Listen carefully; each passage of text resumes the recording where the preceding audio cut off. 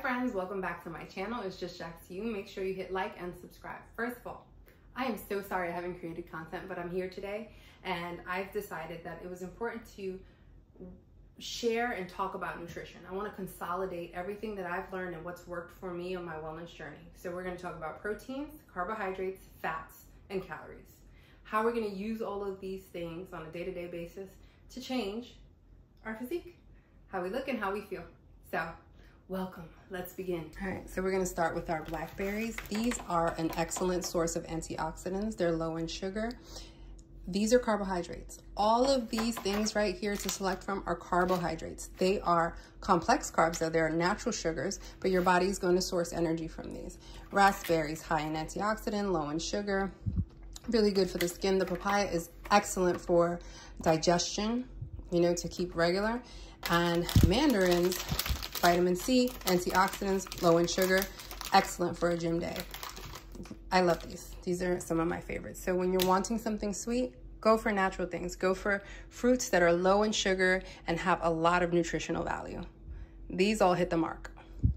Thing that we should consider when we're consuming fruits or any foods for that matter is serving sizes. So one cup of blackberries is a serving size or 150 grams. I sometimes use the scale, sometimes I don't, but this 16 of these is a serving size. I never really eat 16 of them at a time, but invest in a, a, measuring cup. If you don't have a lot of money that you want to spend, go to the 99 cent store. You can buy some measuring cups. This is like 10 bucks on um, Amazon, so serving sizes matter. Something else that I do as soon as I do my groceries, I wash my fruit. Wash it, get it over with. That's one less step that you have to encounter when you wanna eat. When I'm ready to eat, it's like immediate. So I'm gonna let these soak in water with a teeny bit of baking soda and a drop of um, apple cider vinegar. The major key to success, keep your fruits visible. If your fruits are out on the counter and they're visible, you're more likely to consume that versus craving something else. Humans are very simple creatures, y'all. We want what the eyes can see. All right, non-fat Greek yogurt, zero fat. Let's take a look at the label. So for one serving, you get 110 calories, three quarters of a cup or 170 grams. I can't stress this enough. You have to use your measuring tools because we usually don't use the appropriate serving sizes when we eat food.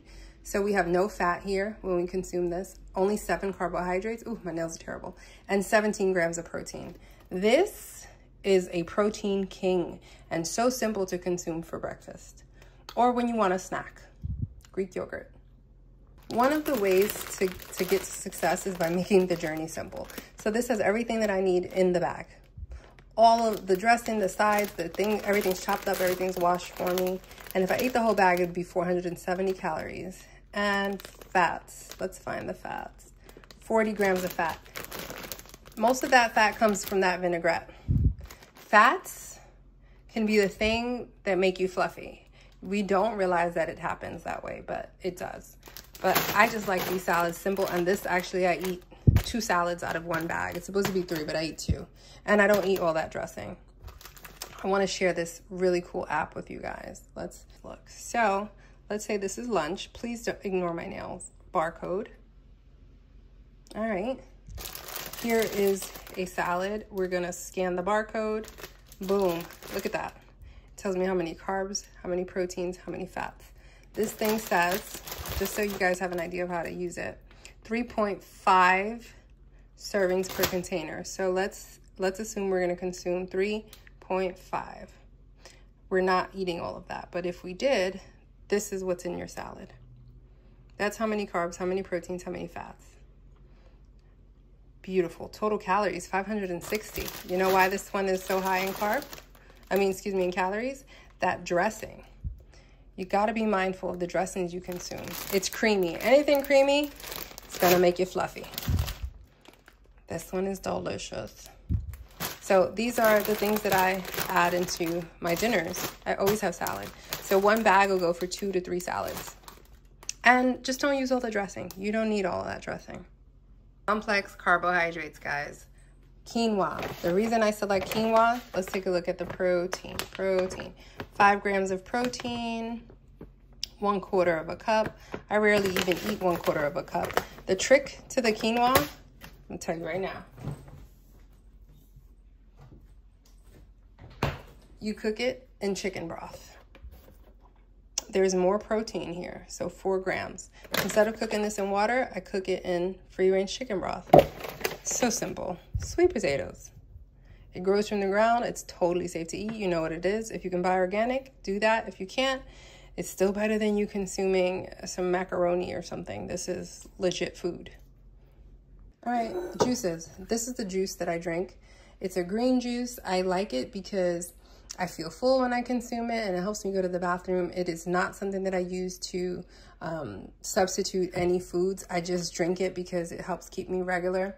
And this is for four servings. Remember to read serving sizes, four serving sizes. Please, guys, don't come for my nails. It's They're so bad. I'm to do them. Um, yeah, so this is the juice. And when I'm in the mood for something exciting, sparkling mineral water.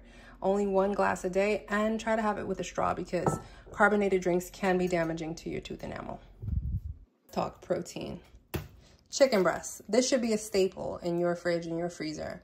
This is a very lean meat. It's high in protein. You get about, what, 30 grams per serving. One serving is about five ounces. You can measure with a scale or with a cup.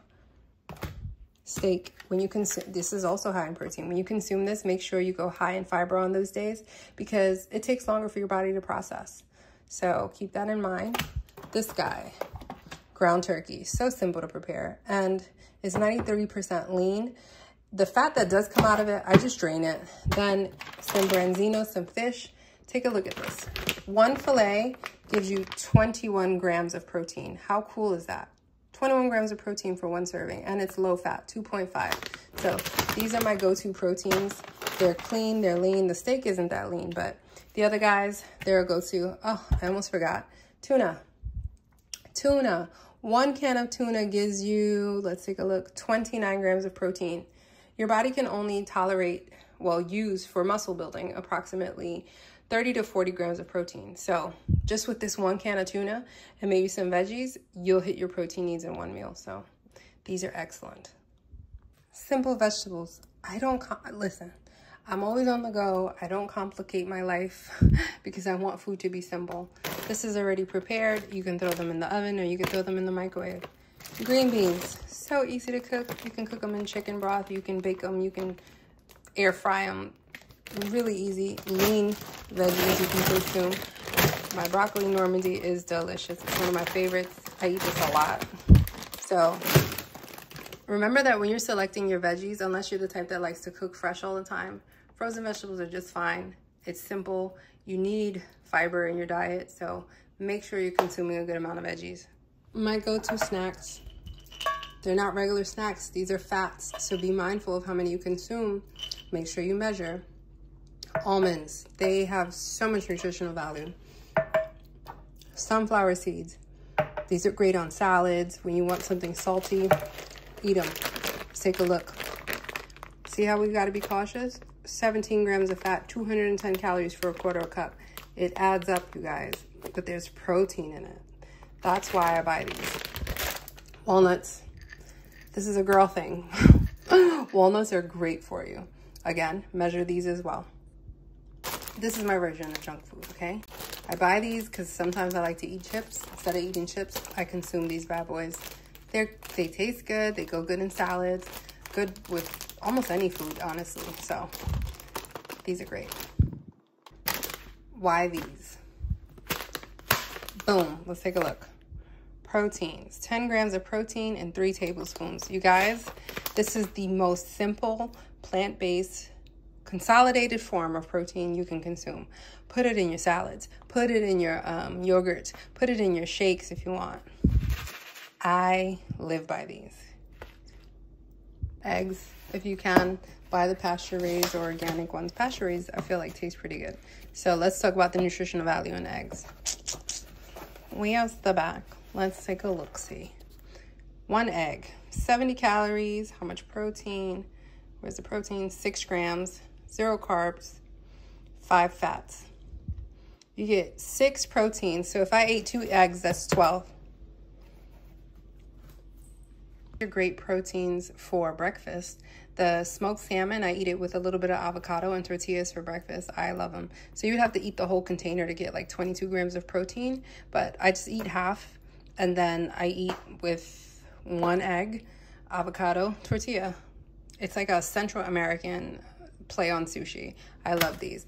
These, it's two links in order to get 10 grams of protein. But again, I probably will pair this with an egg and um, a pancake.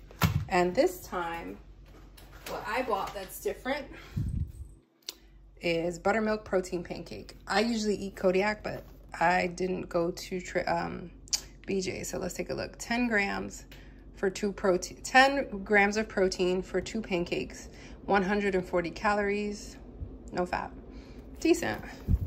Remember, be light on the pancake thing. Don't, don't go crazy because this is carby. Let's talk breakfast. Say, for example, you made some pancakes. Remember, we said one pancake, 10 grams of protein. One egg is 6 grams of protein. So we're talking 16. Two of these is 10. So now we got 26 grams of protein. This is breakfast. Very low fat, very low in carb.